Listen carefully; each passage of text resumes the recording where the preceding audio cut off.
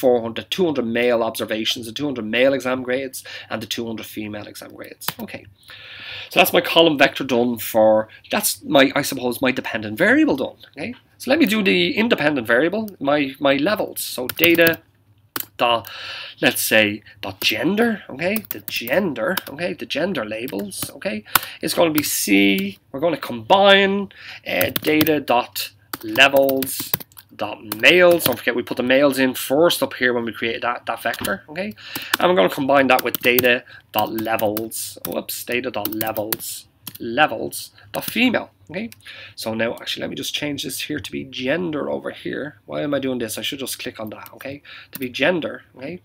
Uh, and I'm going to hit return.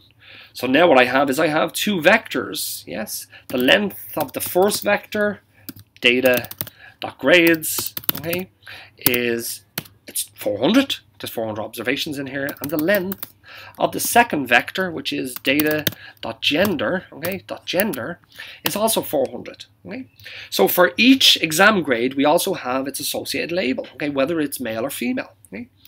Now what I'd like to do is I'd like to create my overall data frame. Okay, so what I'm going to say is I'm going to give it a name. I'm going to say data.all dot frame okay and what I'm going to do is I'm going to use let's do as a class we're going to use the function data frame data dot frame okay to create a data frame this is going to combine our two columns together. Okay? Well, our first column is called data.grades, okay, data.grades, okay, and our second column is called data.gender, okay, dot gender. Now, what I like to do here is I actually like to I actually like to force the actual type of the variables at this particular stage. Now, the data.grades are numeric, Okay, we already know they're numeric. We've already got it up here. Okay, uh, but I'd like to say that data.gender is actually a factor. Okay, it's a nominal variable. So actually, what I'm going to do here is I'm just going to do it. I'm just going to say data.grade should be as dot vector. Okay, it should be a vector. Okay, and what I'm going to say, oh sorry, it should be as numeric. Okay, it should be as numeric. Okay, and what I'm going to do over here is I'm going to say this is as dot factor. It should be a factor, okay? And that's going to create my, my data frame for me now. So actually what it's doing is just basically combining these two columns together.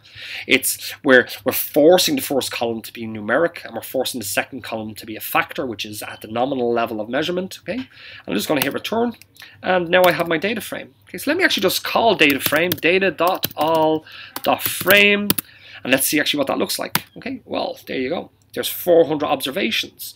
Let's just go up to the top here. Okay, let's just scroll back up.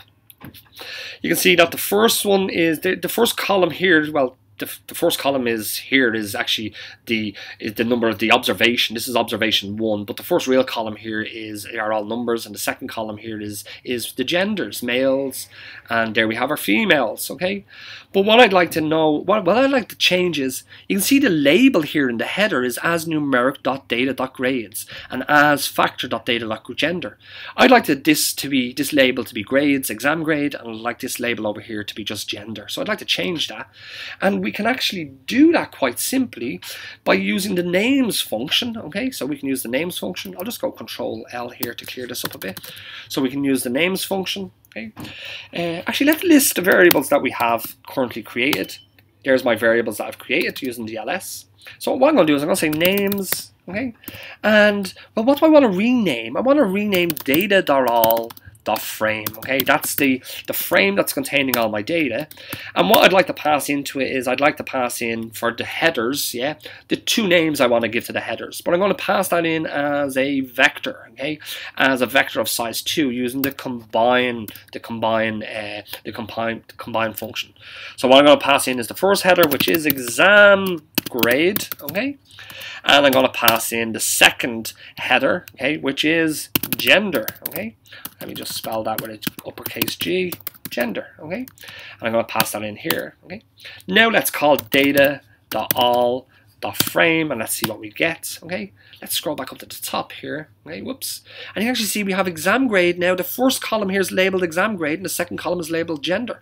So actually what we've actually created here is we've created our data frame okay now we're ready to do our t-test. Okay? Now we can do this two ways. What we're going to do is we're going to use the data frame first of all to create the, to do the t-test. Okay, uh, and what we're going to say is t.test. Okay, t-test takes a number of parameters. Uh, the way we're going to do it is based off the columns, the independent and the dependent variable. Okay, so I'm going to say it's exam exam grade. Okay, is my is the name of my of my independent variable and I'm going to use twiddle and I'm going to put in the name of my dependent variable which is gender okay now at this stage, the t-test doesn't know what the is saying what the hell is exam grade and what the hell is gender. Well, what I'm going to actually say now is actually where to find that information. I'm going to say the data is equal to it's data.all.frame. That's where you're going to find that particular information, if that makes sense. Yeah, with respect to this particular with respect to this particular this particular call. Okay. Uh, now at this stage we could just we could just hit return and it'll give us the results of the t-test. But actually what I want to do first of all is I want to say that the variance, the variance dot equals, variance dot equal uh, equals true to say that I want it to do the t-test. Don't forget there's two